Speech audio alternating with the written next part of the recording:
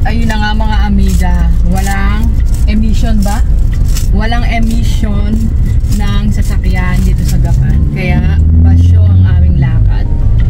Buti na lang, may kasabay kaming deliver and nailibot namin ng bagyaang chikiting. Pero, yung lakad namin para sa sasakyan ay wala. Sa mga magpaparehistro. Sa mga magpaparehistro, dumiretso na po muna kayo ng Arayat bago po kayo pumunta ng Gapan dahil Emission muna ka. magpa-emission muna daw po kayo sa Arayat kasi wala po dito sa Gapan bago po kayo pumunta ng Gapan sa mga tiga Nueva Ecija, Cabiao. Yan. Mga amiga basyo ang lakad ng amiga nyo. Mm. At ito ang kaganapan sa paglilibot ng anak kong si Yuan. Nilibang-libang muna namin si Yuan kasi puro bahay, cellphone na lang ang ginagawa. Kaya ayan, nilibot muna namin siya. Nangangati pa yata, galing lang sa CR. Tignan nyo mga amiga. Super talo-talo, malikot talaga tong bata na to. Pag hawak mo ganyan, naglalakad kayo, malikot yan. Pag hindi mo naman siya hawak, di naman siya naglilikot. Siyempre, sumaglit muna ako dito. Baka may buy one, take one. Check-check muna kami ni Yuan. Ayan, wala kaming nakita. Kaya punta na lang kami sa laruan para siya naman ay malibang. Ayan, bili ko siya ng token.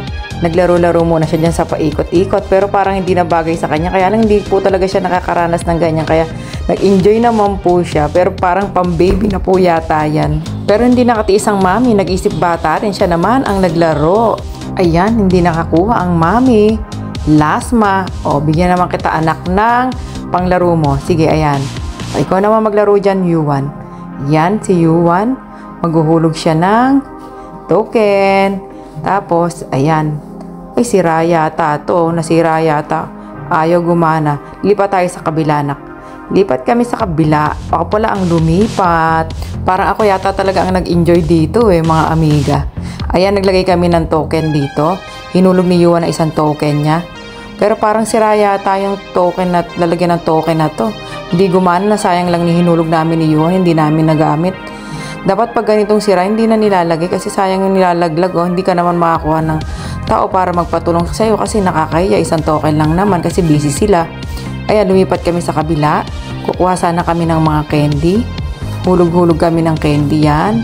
O, ang mami, ang mami ang nag-i-enjoy. Ayan, hindi na naman kami nakakuha dito. Naisip ko tuloy, sana bumili na lang kami ng candy. Yung hinulog namin, sigurado meron pa kaming nakuha. Wala kami nakuha dyan mga amiga kahit isa. Tingnan nyo, super try-try kami ni Yuan. Pero wala talaga kaming nakuha dyan. Oink! Diba, amiga? Wala basyo. O, lipat, hindi rin nakatiis ang daddy. Ang daddy din ang naglaro. Op! Wala ring nakuha. Basyo din. Ito pa, isa, nakaalat-alat talaga kami. Wala kami nakuha ni isa, wala kami nakuha dyan. Oh, laglag ng laglag, pero hindi nalalaglag yung manika.